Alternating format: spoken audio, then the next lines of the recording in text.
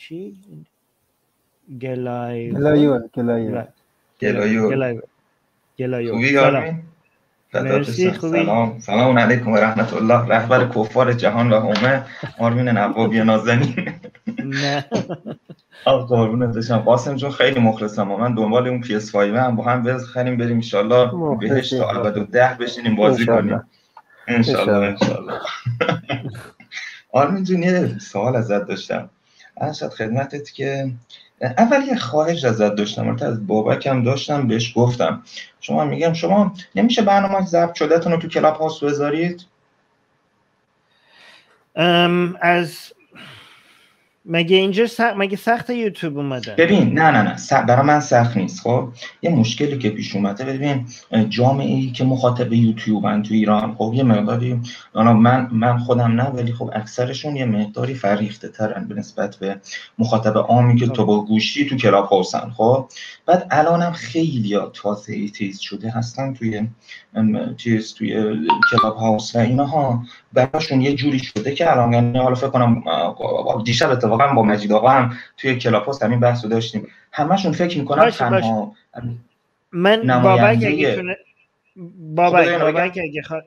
بگو بگو تنها نماینده ایتیزم توی ایران وریا امیریه که خیلی هم من باهاش مشکل دارم با بعضی عقایدش خب و بعضی چیزا ولی؟ من آخه ببین از ویل بینگ دفاع می‌کنه. خب بعد سری چیزایی میگه که مثلا با این یوتیلیتریانی که شما میگی من رفتم بیان کردم.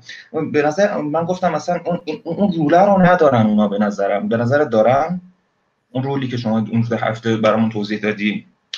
ببین من که نماینده نه نه نه. نماینده ایتیز نیستی. آره نماینده یوتیلیتریان هستی به نظر من. من؟ خواستگاه. اخلاقت حداقل یوتیلیتریان دیگه درسته؟ آره ولی آره ببین همونجوری که من بی خدا هستم ولی نماینده بی خدایان نیستم. به همون شکلم فایدهگرا هستم ولی نماینده فایدهگراها نیستم. بالاخره فقط میام تبلیغش می‌کنم. ما نمی‌خوایم ادعا بکنیم که همه بی خدایی می‌رسه حتما به فایده گرایی بی خدایی من من رسونده به فایده گرایی میام هم تبلیغش می‌کنم که بگم چرا بهترین سیستم اخلاقیه. اگه کسی دیگه به نتیجه دیگه رسیده اتفاقا جا... اگه ببین اتفاقا بی خدایانی که به یک سیستم اخلاقی دیگه به غیر از فایده گرایی رسیدن خیلی جالبه. چون من فکر می‌کنم خیلی بحث جالب تری می‌تونیم داشته باشیم با یه بی خدای که سیستم اخلاقی دیگه رو انتخاب کرده. چون بحث کردن با دینداران خیلی عجیب غریبه. یعنی اومدن یه سیستم بدترین سیستم اخلاقی رو انتخاب کردن اون وقت به ما میگن ما غیر اخلاقی هستیم. خب؟ یعنی بعضی موقع بعضی موقع بحث می‌کنیم با کسایی که.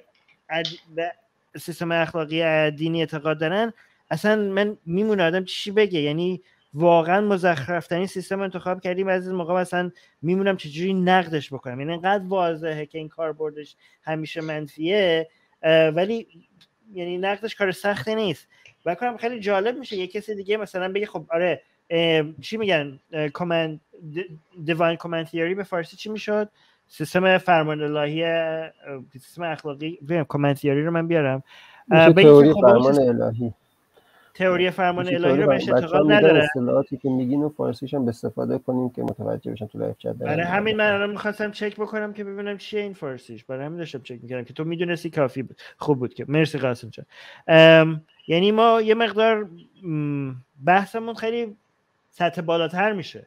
من, خب من- این, چیز این چیزی که شما میگی رو من خیلی وقت می‌خوام. خب حتی به بابک هم گفتم. گفتم مثلا وریا امیری رو بیارین اینجا راجع به این قضیه صحبت کنیم که گفت وریا قبول نمی‌کنه بیاد اینجا. حالا نمی‌دونم چرا. برام همین عجیبه که مثلا توی این همه رومای مسلمون و مذهبی ها حاضر بره بحث کنه ولی اینجا که بچه های خودمون هم حاضر نیست بیاد. خب، سیستم اخلاقی که بهش اعتقاد دارن چی هست؟ اون از ویل بینگ همش حرف می‌زنه. خب ول بینگ هم همون فایده گرایی میشه دیگه. ما می‌خوایم ول خب بینگ رو اون میگه نه. میگه فرق داره. اون میگه نه میگه ش... میگه اونا طبیعتگران. میگه شما ها طبیعتگرا نیستین. میگه میگه مثلا ما حق نداریم حیوانات به ما ربطی نداره که آقا درد نمی‌کشن بکشیمشون بخوریمشون. ما نباید تو طبیعت مثلا اخلال ایجاد کنیم. همچین حرفایی می‌زنه بریامی میگه اگه ما داریم با یه قطار میریم 100 نفر جلومونن که روی ریلن دارن میمیرن اگه ما قطار رو کج کنیم دو نفر میمیرن اون 100 نفر زنده میمونن میگه ما حق نداریم کار کارو بکنیم. با اینکه اونجا دو نفر میمیرن اونجا صد نفر میمیرن ولی میگه که نه این کار اشتباهه شما حق نداریم تو طبیعت دست ببریم من با همینش مشکل دارم. خب اولا که این شد عجیب غریب ترین من نمی‌دونم شما دارین درست توضیح میدین نظریهشون رو یا نه ولی خب این که خوشحال میشن که خب خودشون بیان اینجا توضیح بدن اگه من اشتباه میگم. آره. من خب ولی ولی این مشکل اختلاف نظر با افزایش ویل بینگ نیست. ولی ایشون اگه حرفشون اینه که دارن ویل بینگ رو کاهش میده ویل بینگ رو فارسیش چی بگیم؟ میشه زندگی بهتر همچین چیزیه. یه اصطلاح جالبی داره. این میشه اندرستی؟ نه. خوشبخت خوشبختی خوشبختی. خوشبختی. آره میشه آره آره خب اگه ایشون به افزایش خوشبختی اعتقاد دارن که میشم سیستم ما. حالا اختلاف نظرمون در نیست که میگه بگو میگه آره من بهش گفتم همینو گفتم خب شما چه فرقی دارین با یوتیلیریانا گفتم اونها فقط دنبال لذتگرایی هم و با طبیعتگرایی مشکل دارن. اولا که لذت خب اینو ما باید بحث کنیم. این خیلی قاطی پاتی شد. اولا که طبیعت گرایی آره لذت گرایی ببین خیلی ببین موضوع اینه که ما کلمات رو درست تعریف نکردیم تعریف کلماتمون با هم فرق داره فکر می‌کنیم اختلاف نظر داریم. خب چیزی رو که بخ... به این چیزی که ما بهش میگیم لذت یا به انگلیسی بهش میگیم پلژر خیلی ها به, یوتیل... به فایده ها گیر میدن که شما لذت طلبید. شما همش میرین دنبال سکس و غذا و پارتی و اینا فکر می‌کنین اینا ارزشه. خب اینا میگن آقا ما منظورمون از لذت هر نوع لذتیه. نه لذت فقط از سکس و چه می‌دونم الکل و غذا و این پارتی و این چیزا. ما این مثلا لذت همکاری لذت عشق لذت یک کتاب زیبا لذت خدمت کردن به بشریت لذت محبت لذت فایده داشتن لذت اینکه یه کسی برات ارزش قائل بشه لذت اینکه جامعه تو رو بپذیره. همه اینا رو لذت کلمه لذت رو ما وقتی استفاده می‌کنیم اینا همش فکر می‌کنم ما فقط لذت های کوتاه مدت رو داریم بهش اشاره می‌کنیم. ما همه لذت رو داریم بهش اشاره می‌کنیم. خب؟ برای همین گیر میدن میگن که اونا اسم میگن ویل بینگ ما میگیم پلژر خب؟ برای یوتیلیتریانیسم از کلمه پلژر استفاده می‌کنه. حالا اونا دارن میان از کلمه ویل بینگ استفاده می‌کنن. فکر می‌کنن مثلا چیزی که اونا دنبالشن ارزشش از چیزی که ما داریم بریم دنبالش میریم بیشتره چون کلمه دیگه دارن استفاده می‌کنن. ما میگیم خب شما ویل بینگ رو چجوری تعریف می‌کنین بعد تعریفش می‌کنیم میگه خب همون پلژر ماست. ما, ما همونه. چه فرقی داره. جفتش یه چیزه. من منم خب من اصلا روزی که رفتم بالا برای همین رفتم. گفتم شما چرا میگی من با یوتیلیان مخالفم و اصلا قبولشون ندارم وقتی اینقدر از ویل بینگ صحبت می‌کنی؟ بعد میگم حالا میگم ادعای امیریم بود که اونها طبیعتگرایی رو قبول ندارن من طبیعتگرایی رو قبول دارم. حالا این یه مطلب بود. حالا من که حالا خود آقای امیری می‌دونه ولی خب من خیلی دوست دارم که تازه atheist ا با شما آشنا بشن آرمین جون. این خیلی برام مهمه. اگه اگه اگه بابک یا افشین یا یاسر یا هر کسی دیگه.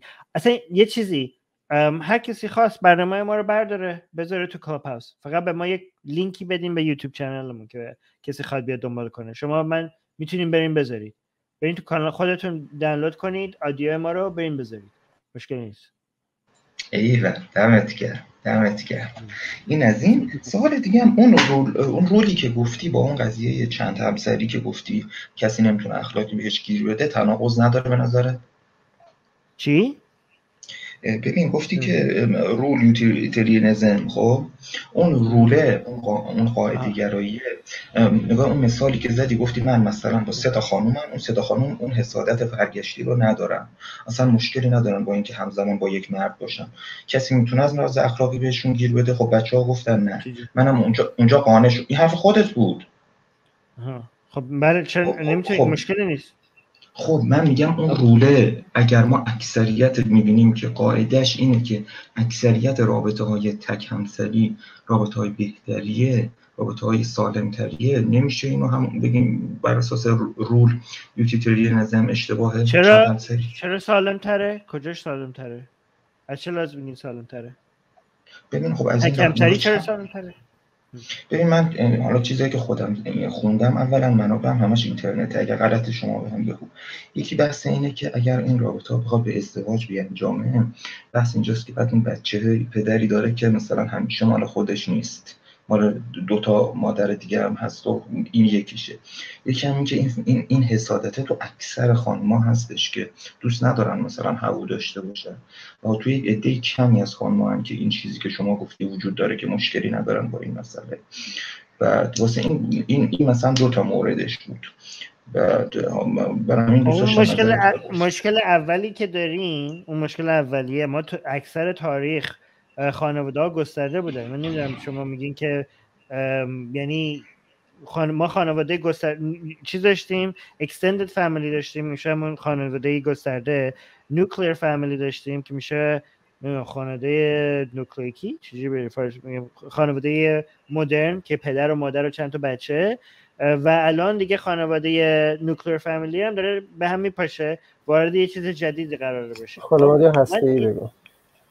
آره خانواده هستی ببینیم ما نمی‌تونیم اینجوری اینجوری در نظر بگیریم که ما به طور شخصی از چی. ببین مثل اینه که بگیم که اگه مثلا همه به اندازه قاسم غذای مورد علاقه چیه؟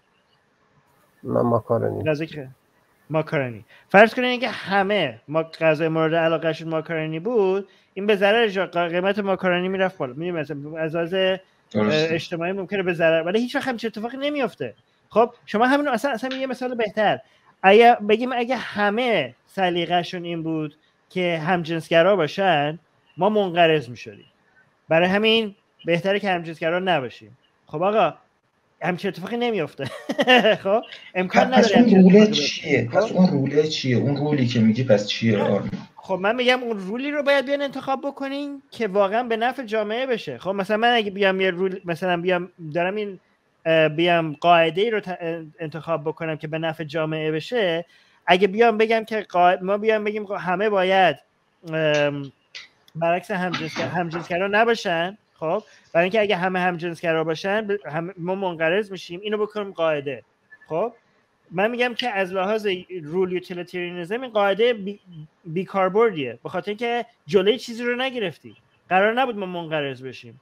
تعداد کسایی که همجنسگرا هستن نسبت به بقیه جامعه اینقدر کمه بذار مثال خودت بگم. با, با جلوگیری از این دارین اذیت و آزار می‌کنین کسایی که همجنسگرا هستن بدون اینکه جلوی, جلوی خطری رو بگیرید. خب؟ یعنی شما اگه می‌خواین قاعده ای رو معرفی بکنین باید خود باید بتونین بیان توجیه بکنین که قاعده ای هست که واقعا همهگیر میشه قابلیت همهگیری رو داره و بعد از اینکه همهگیر بشه هزینه بسیار زیادی برای جامعه رو داره. خب ببین الان همون مثالی که اون دوستمون زد که شما این رو رو مطرح کردی. گفتش اگر یک نفر کسی که سایکو مشکل روانی داره توی یک جزیره ای باشه یه بچه ای که تازه به دنیا اومده رو جان. یه لحظه قبل از اینکه وارد این مثال بشیم من این مثالی که خود زدی رو چیز تموم کنم. مثلا مثالی که تو زدی آیا ما یک زن با چند مرد باشه یا فقط با یک مرد؟ یک مرد با چند زن باشه یا فقط با یک زن؟ خب؟ ما رو اگه من میگم شما می‌خوایم بگین قاعده رو بکنین قاعده ای که به نفع جامعه هست رو بکنین این که یک مرد یک زن و همین. خب؟ من میگم میگم که اگه این قاعده رو بکنیم شما فقط می‌تونید با یک زن باشی بش... مگر اینکه برای این زن مشکلی نباشه که با شما با کسای دیگه باشین. یا یک زن فقط باید با یک مرد باشه. یعنی تا وقتی که شکایتی نباشه شما می‌تونید با مردای مختلف باشید اگه با کسی هستین که دوست نداره با مردای دیگه باشین بهتره ترکشون بکنین یا اینکه قبول بکنین. یعنی خیانت نکنید می‌دونی چه به این شخص خیانت نکنید من میگم قاعده رو اگه اینجوری بذاریم مفیدتره تا اون قاعده که بگیم نه حتما باید یک مرد و یک زن باشن. من اول چیزی تو پرانتز بگم. ببین من اگه می‌بینی به چالش دارم می‌کشم و هی مثال تو مثالهایی که میگی بحث می‌کنم به خاطر اینه که خب بالاخره ماها تو یک جامعه سنتی به دنیا اومدیم. مثلا یه روزی من شاید 15 سال پیش 20 سال پیش چون خودم مثلا استریتم فکر می‌کردم غیر استریت ها اشتباهه. خب بعد 20 سال پیش. بعد فهمیدم اگر من اون موقع اینو درک نمی‌کنم به من ربطی نداره. منم. سلیقه منه بقیه به من ربطی ندارن وقتی به جامعه تو جامعه کنار هم داریم زندگی می‌کنیم. برای همین این مثال رابطه تک انگار همون که گفتی خانواده هسته و اینا رو چون فکر می‌کردم بهتره از توی که خیلی قبولت دارم شنیدم برای همین دارم باد بحث می‌کنم چون می‌خوام واضح بشه برام. اینا رو پرانتز گفتم. اما مسئله این که گفتی خب ببین اینو من الان فهمیدم ولی مشکلی پیش میاد. اون مثالی که اون دوستمون زد که شما این قضیه رول نظم رو مطرح کردی اگر اون اون یک نفر تو اون جزیره ای که هیچکی نیست اون بچه رو بکشه خب خودش هم لذت می‌بره. هیچ کسی دیگه هم نمی‌فهمه که اذیت ببینه. اون بچه هم که خب چیز نداره خودشناسی نداره کانشسنس نداره که بفهمه. خب بعد خب بعد تو اون روله رو گفتی نه ما اینو میگیم غلطه چون این کار کلا طبق اون رول یوتیلیتری نظام غلطه. خب چرا غلطه؟ مگه قراره حالا اون یک نفر رو تو اون جزیره اون بچه رو بکشه؟ مگه قرار همه بچه های کوچیک رو بگیرن بکشن؟ خب ببینید شما برای اینکه شما تصور می‌کنین که یه سیستم کاملا بسته رو به وجود آوردین برای اینکه این تو جزیره وجود داره و هیچ چیزی قرار نیست خارج از این جزیره خارج بشه خب؟ ولی شما امکان نداره بتونین یک همچین سیستم بسته به وجود بیارین چون ما داریم قضاوت می‌کنیم و ما خارج از این سیستم هستیم خب؟ و ما باید تس... ما وقتی ما داریم قضاوت می‌کنیم باید تاثیر قضاوت خودمون هم در نظر بگیریم. یعنی میگه اگر اونجا باشه و ما قضاوت نکنیم اشکال نداره آره؟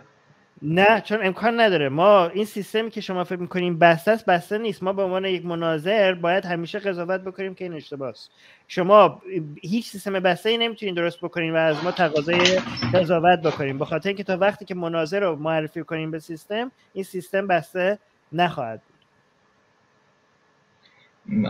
خب یه چیز دیگه. یه چیز دیگه یه چیز دیگه ببین حالا اگه شما بتونین یه گیری بدین بالاخره که فکر کنین این غیر قابل حل خب؟ من به شما قول میدم که شما هیچ سیستم اخلاقی نمی‌تونین پیدا بکنید نه نه من گیر نمیدم. نگو شما. من گیر من می‌خوام یاد بگیرم ازت. نه گیر نه گیر باید بدین. خوبه که گیر میدین. کار خوبیه. با این این سیستما با گیر دادن ها هست که رشد پیدا می‌کنه. من نمیگم من, من خودم می‌خوام گیر بدم. خب؟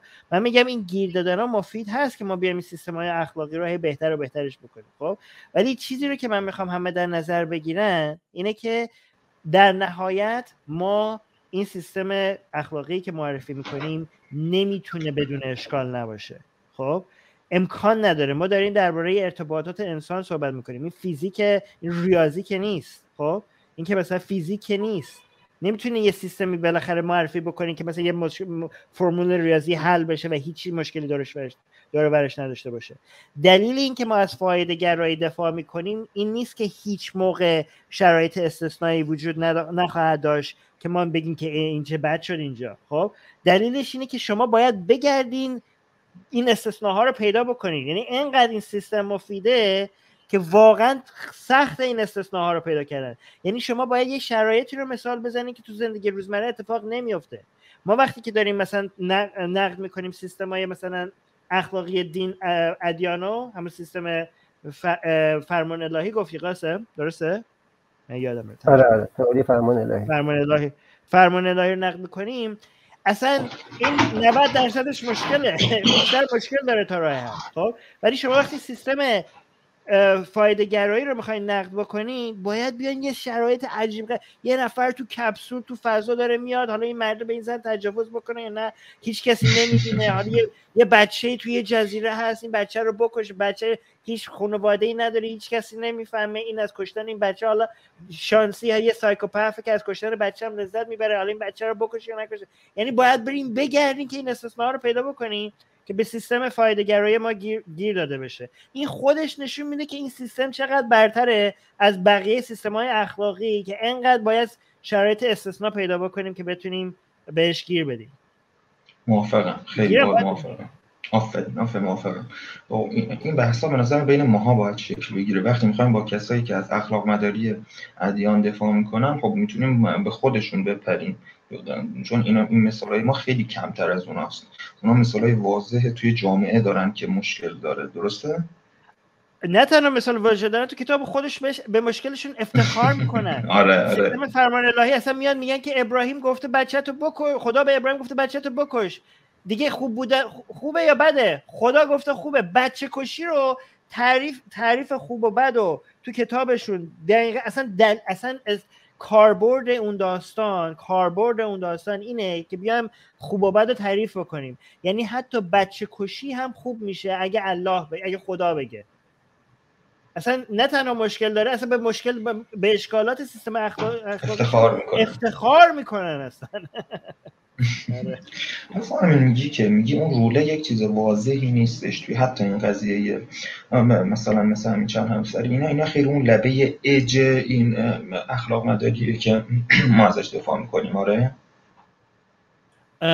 نمی‌دونم لبه اج من من من, فکر من نه فکر کنم این مشکلی نیست من فکر کنم این راه حل آینده است. ما بالاخره داریم ما پیشرفته اقتصادی که کردیم. ببین خانواده سیستمی که خانواده چه شکلی باشه چه چی به نفع جامعه است به طور ارگانیک عوض میشه. یعنی مثلا ما اگه از extended family از خانواده گسترده رفتیم به خانواده ای کسی اینو تصمیم نگرفت. شرایط اقتصادی مجبور کرد که این مفیدترین روش سیستم خانواده فقط اقتصادی نبود. خب. فقط اقتصادی نبود آرمی همون قضیه حسادت فرگشتی هم بود. نگاه کن من حتی می‌بینم توی زنای بیشتر اقتصادی بود. بذار اینو بگم اگر زنای پیامبرم حتی که مثلا اون زمان انقدر اوکی بوده می‌بینیم مثلا آیشه حسادت می‌کنه به زنای دیگه. یعنی این اون زمان هم بوده.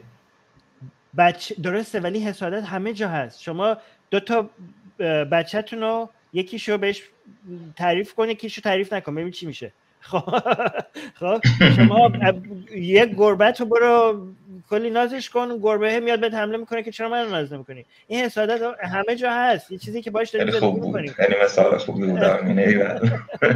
این خواستم یک بار گفت آرمین خیلی مثال خفنی می‌زنه. الان یک اپیلاسیون شدن دمت گرم. پاسخ هم گرفتم. عالی بود عالی بود. خواهش خواهش. ولی یه چیزی مرسی مرسی. من فقط یه نکته آخرم اشاره کنم. من فکر می‌کنم این ما باید الان خیلی فلکسیبل باشیم.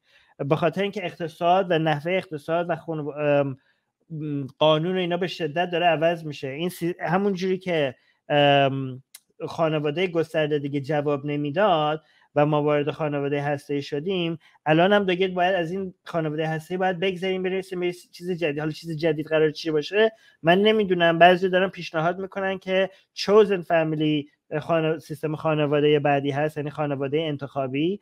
هر چی که هست ما نب... ما باید به خاطر تعصب نباید همینجوری بچسبیم به این خانواده هسته پدر مادر و بچه. باید ها... اینکه این مثل یه قطاری که جلوش وایسادیم اگه بخوایم جلوش رو بگیریم لهمون می‌کنه.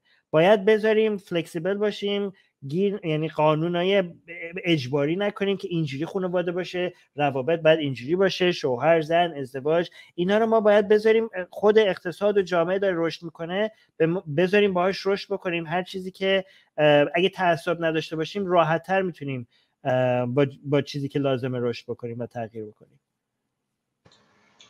درسته درسته واقعا ممنون. یعنی که باید به چالش بکشیم همه این شرایطی که هست داره آره من میگم که فقط من خیلی از این قوانین و این آداب و رسوم و اینا بر اساس تعصبه نه بر اساس سود و فایده و اینا. یعنی مردم تعصب دارن بعد می‌خوان بیان فایدهش رو توجیه بکنن. یعنی به یه چیزی علاقه دارن برای که همیشه اینجوری بوده نمی‌خوان عوض بشه میترسن که عوض بشه. استدلال اینکه کاربرد داره رو بعدش من می‌کنن. نمی‌دونم بخ... البته به خاطر تعصب اولیش هست که گفتم چون خودمون دوست داریم یک چیزی رو فکر می‌کنیم آره. حتما این درسته. حتما این کار راه درسته. دقیقا این قدر این مجید آقا رو هم بدونم دیروز یک دعوایی به پا کرده که ازت بعد گفت تو کلاپاس مجید آقا همچین عصبی شد ازت دفاع کرد که کیف کرد اشکال نداره. مرسی مجید ولی اشکال نداره. ممنون. قدرت شما ببخشید زیاد وقت گرفتم.